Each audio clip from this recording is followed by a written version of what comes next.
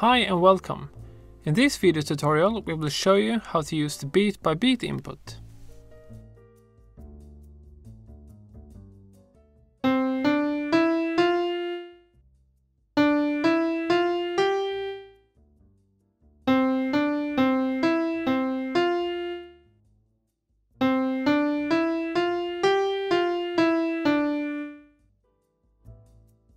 An efficient musical way to get your music into a score in ScoreCloud is by playing beat by beat.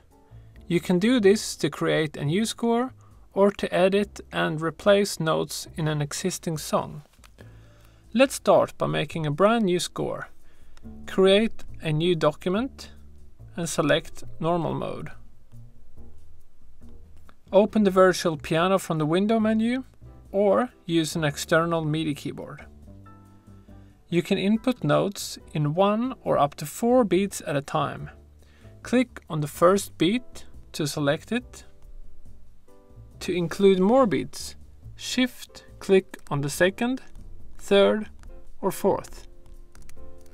Notice that the selected beats get a red border. This indicates that it is ready to play beat by beat. Play on your keyboard to insert notes.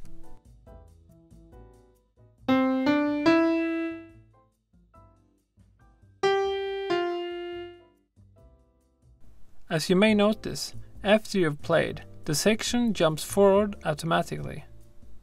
In general, you will get more precise results by playing one beat at a time, especially for more complex rhythms. Also note that you can play your passage as slow as you want.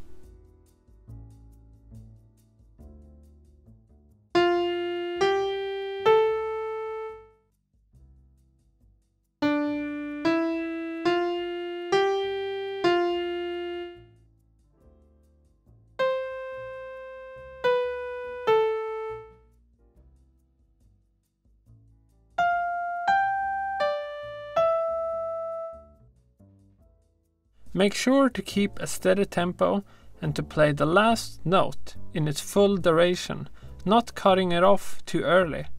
This is a common mistake that might generate undesired results. Notice the difference between these.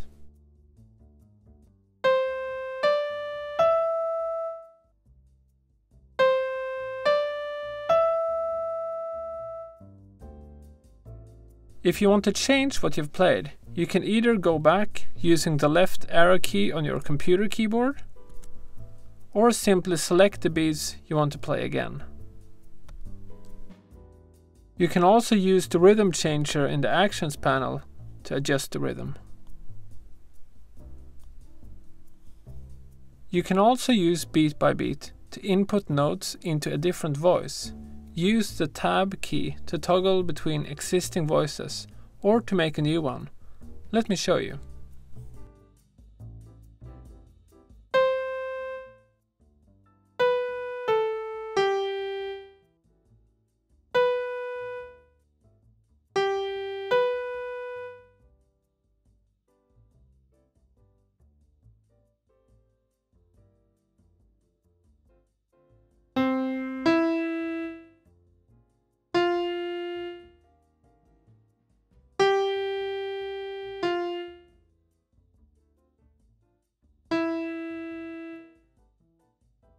When writing down a song, playing the whole song beat by beat first, and then going back to edit mistakes can be a good workflow. This helps you save time and not get stuck in details. You can also use beat by beat to play chords.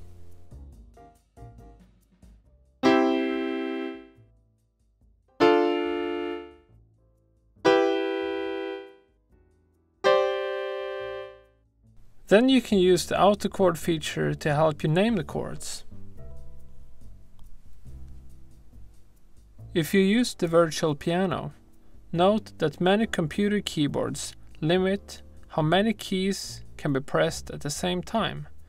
So, if some of your key presses don't register, you might have to add them manually later.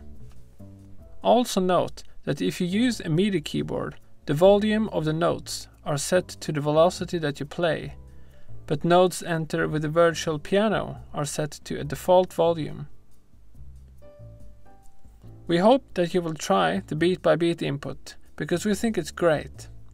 Thank you for watching and make sure to check out our other tutorials.